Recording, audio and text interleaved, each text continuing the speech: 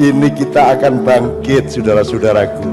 Wahai anak-anak Nusantara Sucikan dirimu, cerdaskan pikiranmu Murnikan hatimu dan tangguhkan tangan dan kakimu Terampilkan pikiranmu dan pekerjaanmu Sebab masa depan menunggu kejayaan di mana Nusantara tidak hanya sembuh Tapi dia akan memimpin dunia. Pada edisi ini, kami tim channel Nusantara Peradaban Dunia mohon maaf, karena jadwal tayang tiap episode tidak sesuai per 56 jam. Banyak konten yang sudah kami siapkan untuk tayang, sejak edisi ke-10 mulai dibatasi, bahkan di stop dan tidak bisa dipublikasi. Kami berusaha maksimal untuk membuat konten-konten tersebut bisa ditayangkan. Sekali lagi kami mohon maaf, sesuai komitmen, dan ini adalah amanah yang harus kami laksanakan kami tetap tayang sampai dengan edisi ke-789 selesai. Kami mohon doa dan dukungan seluruh masyarakat Nusantara, untuk menyebarkan semua informasi yang tayang dalam setiap episode ke sanak saudara, teman, tetangga, dan seluruh rakyat Nusantara khususnya rakyat Indonesia, sehingga kebenaran sejarah Nusantara bisa diketahui seluruh rakyat Nusantara dan Indonesia. Semua masyarakat harus tahu dan mendapat informasi dari organisasi Nusantara, bahwa sebelum tahun 2024, rakyat Indonesia harus memperoleh kemakmuran dari kerajaan Nusantara, melalui pekerjaan yang saat ini rakyat Indonesia lakukan dengan benar. Banyak yang mengatakan konten Nusantara Peradaban Dunia adalah hoaks, menyesatkan, anti Tuhan, dan punya tujuan politis pemilu 2024. Ada juga yang menyerang konten kami tidak berdasarkan sumber yang terpercaya. Bahkan ada pernyataan bahwa konten kami membuat orang malas, memberi angin surga, sebuah hayalan tetapi tidak bisa direalisasikan.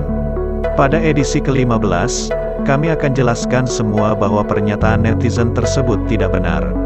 Kami dari tim channel Nusantara Peradaban Dunia, untuk membuat bahan tulisan mulai edisi pertama sampai nanti edisi 789, berdasarkan parameter ilmu pengetahuan, data-data otentik baik yang umum maupun yang rahasia. Kami telah melakukan wawancara dengan pemegang harta amanah dunia sejak tahun 2016. Semua bahan wawancara dan bukti dokumen dari pemegang amanah, kami komparasi dengan bukti dari literatur dan wawancara pihak lain. Kami juga melakukan wawancara dengan ahli keuangan, perbankan, sejarah, dan ahli agama. Kami juga mencari bukti dan sumber dari literatur lain seperti kitab suci, buku, Wikipedia, YouTube, dan penelitian situs Purbakala. Inilah jawaban kami, kami tayangkan semua edisi berdasarkan fakta-fakta asli. Kami menyampaikan kebenaran dan meluruskan sejarah yang selama ini diselewengkan. Konten kami tidak menyesatkan dan anti Tuhan. Nusantara adalah warisan para nabi dan raja. Jadi selalu patuh dan tunduk kepada perintah dan aturan Tuhan Yang Maha Esa. Nusantara tidak menganut faham ateis, komunis, kapitalis, dan liberal. Nusantara tidak berurusan dengan politik dan pemilu 2024. Nusantara no politik adalah sumpah. Silahkan Anda berpolitik, tetapi Nusantara tetap bekerja untuk memakmurkan rakyat Indonesia. Nusantara tidak memberikan hayalan dan angin surga. Ini fakta dan realita. Saat ini semuanya sedang dipersiapkan oleh putra-putra terbaik Nusantara. Nusantara, sudah punya rencana pelaksanaan dan rencana utama Grand Design, untuk memakmurkan rakyat Indonesia. Grand Design ini, sudah dibuat sejak tahun 2013, dan telah dimulai pada tanggal 12 Juli tahun 2021, bertepatan dengan tayangan edisi ke-1. Semua putra-putra terbaik Nusantara, sudah bergerak tanpa harus menimbulkan gesekan dengan pengelola negara Indonesia, rezim saat ini. Nusantara tidak ingin ada pihak yang membonceng dan mengaku sebagai Raja Nusantara. Nusantara tidak mau mengganggu pengelola negara Indonesia yang sedang bekerja. Nusantara tidak ingin ada pertumpahan darah, tujuan utama Nusantara adalah satu yaitu memakmurkan rakyat Indonesia. Jika kalian masih ragu, Silakan mempelajari informasi kami dari data-data yang banyak tersedia di Wikipedia bahasa Inggris dan bahasa Belanda. Nusantara tidak meladeni para pengecut, penjual bangsanya, buzzer, dan pihak-pihak yang dibayar untuk melakukan adu domba. Nusantara tetap fokus bekerja untuk memakmurkan rakyat Indonesia sebelum tahun 2024. Kami dari tim admin, juga mengucapkan terima kasih kepada kalian semua yang terus memberikan support dengan mengikuti channel kami, dan menyebarkan informasi ini ke seluruh rakyat Indonesia. Kami dan kalian semua, cinta Nusantara. Kami dan kalian semua, cinta Indonesia. Tanah Surga oleh Salman Bukan lautan, hanya kolam susu. Katanya. Tapi kata kakekku Hanya orang-orang kaya yang bisa minum susu. Kain dan jalan cukup menghidupimu Katanya. Tapi kata kakekku Ikan-ikan kita dicuri oleh banyak negara. Tiada badai, tiada topan kau temui Katanya. Tapi kenapa ayahku tertiup angin ke Malaysia Ikan dan udang menghampiri dirimu. Katanya. Tapi kata kakek Awas ada udang di balik batu. Orang bilang tanah kita tanah surga. Tongkat kayu dan batu jadi tanaman. Katanya. Tapi kata dokter Intel Belum semua rakyatnya sejahtera. Banyak pejabat yang menjual kayu dan batu Untuk membangun surganya sendiri. Puisi Tanah Surga, benar yang dikatakan Salman. Kita malu sebagai bangsa yang besar tetapi rakyatnya tidak makmur. Kekayaan alam di darat dan di laut sangat melimpah. Tidak terhitung nikmat Tuhan memberikan Indonesia seperti surga. Jika semua hasil alam bisa kita kelola dengan baik, semua hasilnya bisa dinikmati oleh rakyat Indonesia. Tidak ada lagi orang susah kerja dan sulit mencari makan.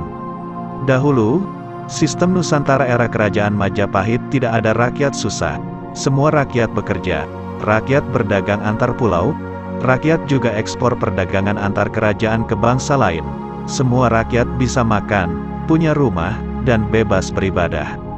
Para pejabat di era kerajaan Majapahit tidak ada yang berani korupsi. Semua pejabat bekerja dengan ikhlas dan bersumpah memakmurkan rakyat. Mereka tidak dolim kepada rakyat, mereka melayani rakyat, mereka takut kepada Tuhan. Kamu itu menderita apa? Sehingga kamu kejamnya begitu rupa kepada rakyat. Kamu pernah menderita apa? Kamu pernah miskin apa? Karena kamu pernah puasa kayak apa? Kamu pernah tirakat apa? Kamu lancar-lancar semua kok. Kamu bisa membayar miliaran untuk jadi pejabat. Apa alasan untuk jahat kepada rakyat? Kondisi ekonomi Indonesia yang kacau, dihantam pandemi virus corona, sudah diprediksi oleh Nusantara sejak tahun 2010. Pada tahun 2013, Nusantara sudah mempersiapkan grand design untuk rakyat Indonesia, planning untuk mengantisipasi merosotnya ekonomi di tahun 2020. Sudah disiapkan Nusantara agar bisa berjalan di tahun 2021. Pemegang harta amanah Nusantara sudah mempersiapkan semuanya. Tim admin sangat kagum dengan konsep kemakmuran rakyat Indonesia di tahun 2024. Semua fasilitas dana sejak tahun 2013 sudah disiapkan pemegang harta amanah Nusantara. Nusantara merekrut putra-putra terbaik Indonesia di seluruh dunia, merekrut para ilmuwan untuk pengembangan teknologi, menyiapkan ahli perdagangan dan ekonomi, merekrut para akademisi, guru, dokter, dan arsitek pembangunan. Kalau sekarang banyak muncul para pemegang harta amanah, untuk publikasi ke publik, kalian patut kritis dan bertanya. Kami sudah bertemu dengan para pemegang amanah palsu. Semua yang mereka sampaikan, hanya sebuah retorika dan dokumen perbankan yang tidak bisa diproses. Para pemegang harta amanah palsu, hanya bicara soal dana besar untuk rakyat, tetapi mereka tidak punya konsep dan desain, dalam mewujudkan kemakmuran rakyat di era modern. Apakah para pemegang amanah palsu ini punya master plan untuk kemakmuran rakyat Indonesia di tahun 2024? Jika mereka tidak punya dan hanya bicara dokumen perbankan harta amanah Nusantara, maka tinggalkan dan jangan pernah percaya. Pemegang harta amanah yang asli tidak pernah muncul di publik. Beliau punya banyak tempat di seluruh negara di dunia. Beliau punya koneksi dengan seluruh raja di kerajaan negara lain. Beliau menjadi CEO dan pemegang saham di berbagai perusahaan besar. Beliau juga punya master grand design yang tertulis Nusantara untuk kemakmuran rakyat Indonesia di tahun 2024 sampai dengan tahun 2030. Inilah bukti yang harus kami sampaikan kepada kalian Bersyukurlah kita sebagai rakyat Indonesia, bahwa kebangkitan Nusantara telah dimulai. Tunggu putra-putra terbaik Nusantara sedang bekerja, Indonesia sangat luas, pekerjaan sangat besar, tantangan sangat berat, berdoalah, agar mereka segera tiba di depan rumah kalian, membawa berita gembira, kabar kemakmuran untuk keluarga dan anak cucu kita. Mana ada negeri sesubur negeriku? Sawahnya tak hanya menumbuhkan padi, tebu dan jagung, tapi juga pabrik, tempat rekreasi dan gedung. Perabot-perabot orang kaya di dunia dan burung-burung indah piaraan mereka berasal dari hutanku. Ikan-ikan pilihan yang mereka santap bermurah dari lautku. Emas dan perak perhiasan mereka digali dari tambangku. Air bersih yang mereka minum bersumber dari keringatku. Mana ada negeri sekaya negeriku, majikan-majikan bangsaku memiliki buruh-buruh mancanegara. Berangkas-berangkas bank ternama di mana-mana menyimpan harta-hartaku.